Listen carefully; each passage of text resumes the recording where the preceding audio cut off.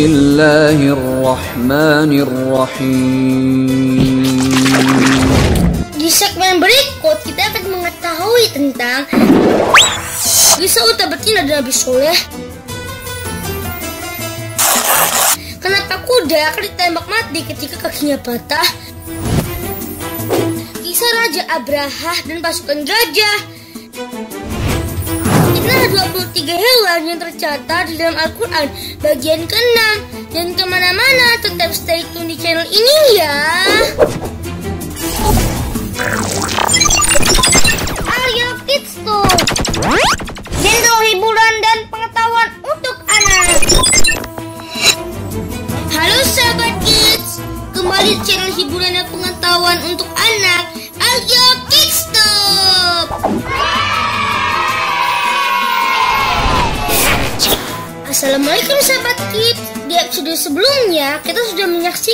tentang Kisah Rajab sebagai penanda wafat Nabi Sulaiman. Ternyata Allah bisa mengobati dirinya sendiri ketika sakit. Kisah Nabi Yunus dan ikan paus. Apa benar kalau dia itu binatang bodoh? Nah, di segmen kali ini Ari masih melanjutkan informasi tentang 23 hewan yang tercatat di dalam Al-Quran sesuai dengan urutan surah bagian ke-6 Tidak perlu berlama-lama, mari kita simak informasinya. Unta. Eits, tapi jangan lupa Bagi yang belum berlangganan Silakan like, subscribe, dan tekan tanda loncengnya ya. Terima kasih. Unta adalah jenis mamalia kuku belah yang identik dengan hewan padang pasir. Unta disebutkan di dalam Al-Quran di antaranya di surah Al-Ghoshiyah ayat 17, surat Hud ayat 64, surah An-Nahl ayat 5-7, surat Al-Qamar ayat 54, Surat Asy-Syu'ara ayat 156 dan surah Al-A'raf ayat 73. Wow Salah satu kisah yang menakjubkan adalah kisah tentang Nabi Soleh dan unta betina. Nabi Soleh adalah Nabi dan Rasul kelima yang diutus Allah untuk berdakwah di Al-Hijr yang saat ini dikenal sebagai Madain Solih yakni kota-kota Nabi Soleh alaihi salam. Kota tersebut terletak di antara Arab Saudi dan Suriah. Allah Subhanahu wa taala mengutus Nabi Soleh untuk membawa kaum Samud kembali ke jalan yang benar. Sebelum diangkat menjadi rasul, Nabi Soleh adalah panutan di suku Samud. Kaum Samud terkenal memiliki ilmu batu dan bangunan yang handal. Namun di sisi lain mereka menjemah berhala. Nabi Soleh mengajak kaum Samud untuk bertaubat meninggalkan berhala dan menyembah Allah Subhanahu wa taala. Namun mereka menolak ajakan Nabi Soleh, bahkan menentang Nabi Soleh untuk mendatangkan mukjizat. Kaum Samud meminta Nabi Soleh menciptakan unta betina yang hamil 10 bulan di sebuah bukit berbatu. Nabi Soleh menyanggupi tantangan tersebut dan berdoa agar Allah menunjukkan kekuasaannya. Allah lalu membelah batu di bukit itu dan dalamnya muncul seekor unta betina sesuai dengan permintaan kaum Samud. Wow Unta betina itu dikenal sebagai unta betina Allah dan keistimewaan dari unta betina ini yaitu dapat memenuhi kebutuhan susu untuk seluruh kaum Samud. Mukjizat ini membuat kaum Samud terbagi dua. Ada kelompok yang percaya atas kebesaran Allah dan mengikuti ajaran Nabi Soleh. Namun ada pula kelompok yang ingkar dan menentang mukjizat itu. Oh no! Para pemimpin kaum Samud yang ingkar memiliki rencana jahat untuk membunuh unta tersebut. Akhirnya pada suatu malam ada sembilan orang yang berhasil membunuh unta itu beserta anaknya yang baru lahir dengan cara menombaknya. Kaum Samud yang ingkar kembali menantang Nabi Soleh untuk mendatangkan azab setelah unta itu dibunuh. Nabi Soleh kembali mengingatkan kaum Samud untuk bertobat sebelum azab benar-benar datang. Kaum Samud semakin tak senang dengan petuah Nabi Soleh. mereka bakal merencanakan membunuh Nabi Soleh. Namun belum sampai rencana itu, Allah memerintahkan Nabi Soleh dan orang yang beriman untuk meninggalkan Al-Hijr karena azab akan segera tiba. Azab itu muncul di hari keempat setelah pembunuhan unta. Di hari itu petir menyambar, bumi berguncang dan menghancurkan kaum Samud. Kaum Samud pun binasa karena petir dan gempa bumi. Demikian kisah singkat tentang unta berzina dan lebih soleh. Masya Allah, kisah yang luar biasa ya sahabat kids. Sahabat kids, tahukah kalian salah satu fakta menarik dari unta yaitu memiliki kelopak mata yang tembus cahaya dan memiliki pasang bulu mata yang tebal sehingga akan tetap dapat melihat walaupun diterpa badai gurun. Selain itu, terdapat fakta unik lainnya tentang unta yang belum banyak kita ketahui dan berikut informasinya. Spesies unta terbagi menjadi dua yaitu unta berpunuk tunggal Camellius dromedarius dan unta berpunuk ganda Camellius bactrianus. Unta memiliki hidung yang dapat menutup ketika ada badai pasir sehingga pasirnya tidak dapat mengganggu pernafasannya karena bentuk kakinya melebar walaupun unta membawa beban ratusan kilogram namun kaki unta tidak akan terperosok ke dalam pasir kulit dan bulu unta tahan sangat dan panas ketika siang hari dan mampu menahan dinginnya udara pada malam hari Unta memiliki bibir yang elastis dan keras sehingga dapat memakan tumbuhan yang berduri misalnya kaktus. Unta mampu bertahan tidak minum air hampir satu bulan lamanya. Unta adalah binatang yang patuh dan sangat suka bersahabat dengan anak-anak. Unta mengandung gundukan lemak yang fungsinya sebagai cadangan makanan yang dapat diolah menjadi sumber air dan tenaga. Ketika menemukan sumber air, unta akan meminumnya dalam jumlah banyak dalam 10 menit. Unta meminum air sebanyak sepertiga dari berat badannya. Selain sebagai hewan tunggangan yang tangguh, unta juga penghasil susu yang banyak manfaatnya bagi manusia. Unta memiliki periode kehamilan yang cukup lama yaitu antara 13 sampai 15 bulan. Unta betina biasanya melahirkan satu atau dua anak dalam periode kehamilannya. Guanaco merupakan hewan yang masih satu keluarga dengan unta yang berasal dari Amerika Selatan memiliki ciri badan lebih ramping dan leher yang panjang. Lama adalah kerabat unta yang berasal dari Amerika Utara, memiliki ciri buru lebih panjang dan tidak berpunuk. Alpaka adalah kerabat unta lain yang hidup di pegunungan Andes, Amerika Selatan. Hewan ini memiliki ciri ukuran lebih kecil dibandingkan unta, namun berbulu lebat seperti domba. Vicuna adalah kerabat unta yang mirip dengan guanaco namun ukurannya lebih kecil dan badannya hampir mirip dengan rusa. Nah, demikian fakta singkat tentang unta. Bagi kalian yang suka dengan video ini, silahkan like ya. Jazakumullah khairan. Kuda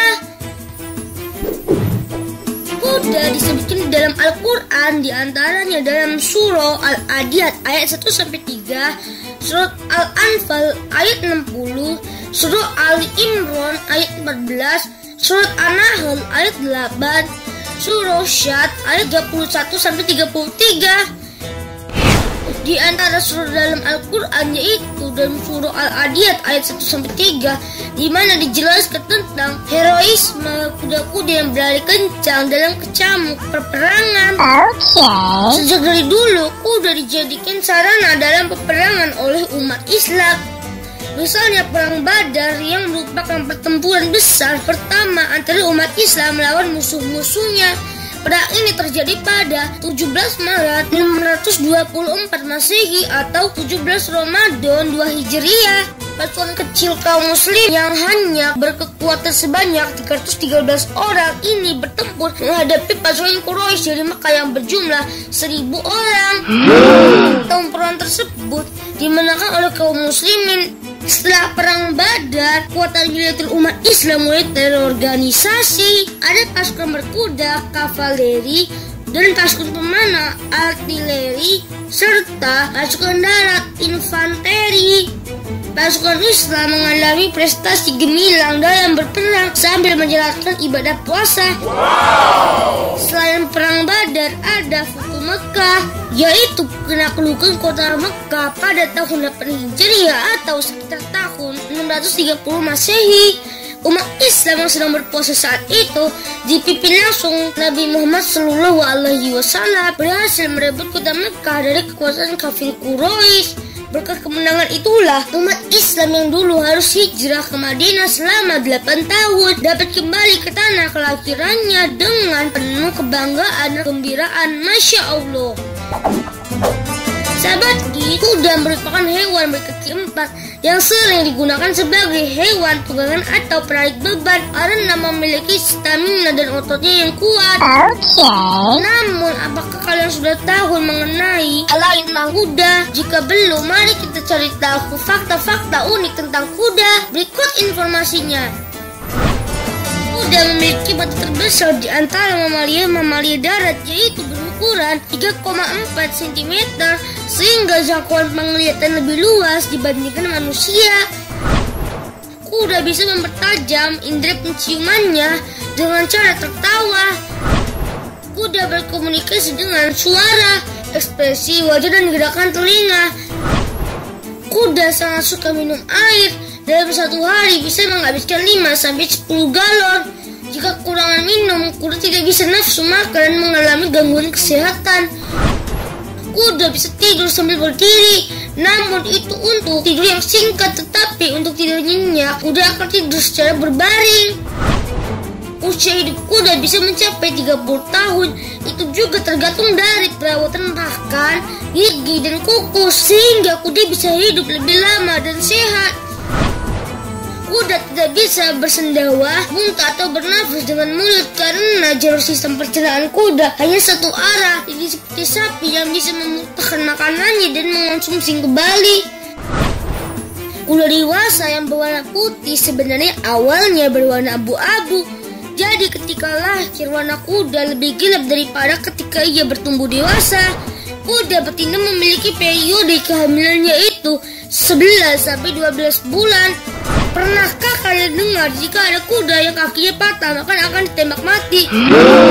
Alasannya karena kaki kuda memiliki struktur tulang yang tipis sehingga akan hancur ketika patah. Jadi sangat sulit untuk dipulihkan kembali. Oh. Kuda memiliki banyak spesies di seluruh dunia. Namun ada 15 jenis spesies kuda yang paling populer di dunia yaitu Arabian, Ahkal Teke, Black Forest, Shire, Oni, Marwari, Torok Bread, Frisian, Mustang, Morgan, Appaloosa, Clydesdale, Shetland, Warm Blood, dan Orlov Trotter. Demikian informasi singkat tentang kuda. Bagi kalian yang suka dengan video ini, silahkan like ya. Jazakumullah khairan. Gajah.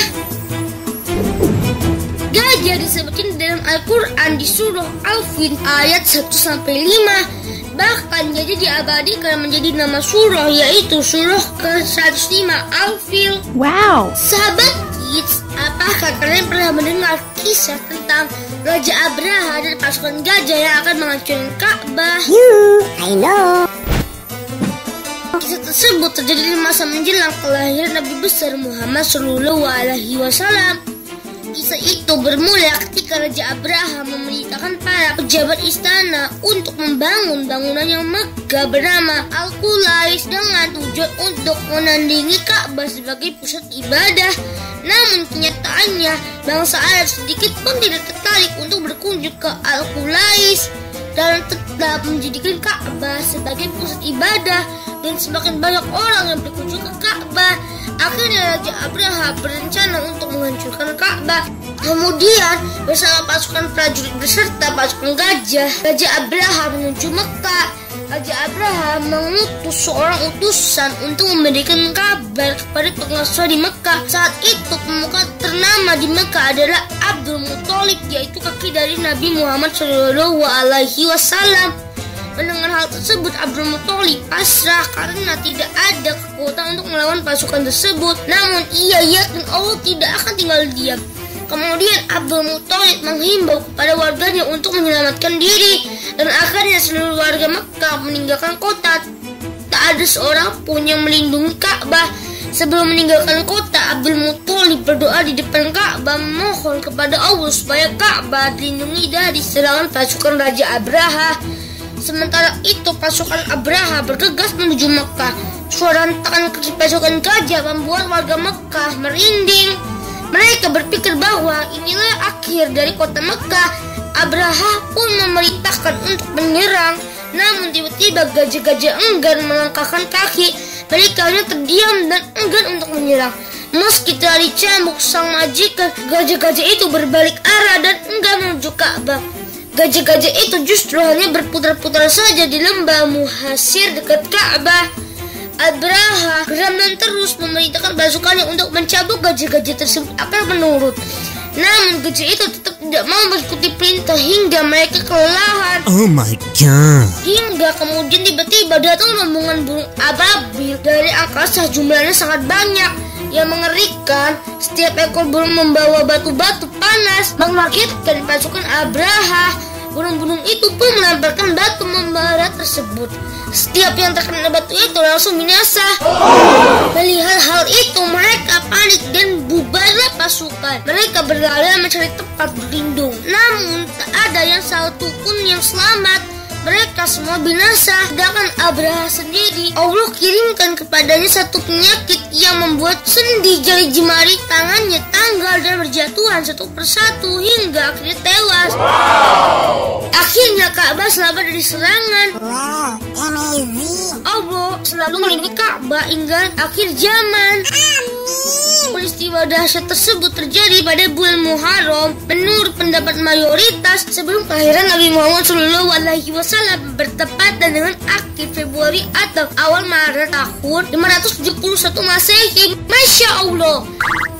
Nah, demikian kisah singkat tentang pasukan gajah dan Raja Abraha dalam Al-Quran. Sahabat gajah merupakan jenis mamalia terbesar dan terkenal dengan kepintarannya. Karena kepintarannya itu sehingga gajah sering dijadikan hewan sirkus loh. Okay. Selain itu, gajah juga memiliki fakta unik yang patut kita ketahui bersama. Berikut informasinya. Belalai gajah merupakan ciri khas dari seekor gajah. Belalai gajah berfungsi layaknya tangan. Belalai juga digunakan untuk mandi dan minum. Gajah bisa menghisap air hingga 14 liter lalu disemburkan lagi. Gading gajah berfungsi untuk melindungi diri dari binatang lain juga sebagai penarik lawan jenis. Periode kehamilan gajah betina adalah 22 bulan dan ini adalah kehamilan terlama di dunia untuk hewan darat. Gajah memiliki memori ingatan yang sangat kuat hingga bertahun-tahun. Selain untuk mendengar, fungsi telinga besar gajah adalah untuk mendinginkan tubuh dengan cara mengepakkan telinga mereka. Gajah memiliki rasa sangat peduli dengan sesamanya dengan berbagai ekspresi. Misalnya, ketika melihat kawannya yang bersedih, maka gajah akan mengalungkan belalainya ke temannya tersebut. Gajah mampu mendeteksi badai petir di jarak 280 km. Wow. Biasanya mereka mendekati badai untuk mencari air. Gajah akan membuang kotoran sebanyak 13-15 kali sehingga dalam satu hari gajah menghasilkan kotoran sekitar 113 kg. Gajah dikategorikan menjadi tiga spesies yaitu gajah Asia, gajah semak Afrika, dan gajah hutan Afrika. Gajah lebih senang tinggal di habitat yang dekat dengan sumber air.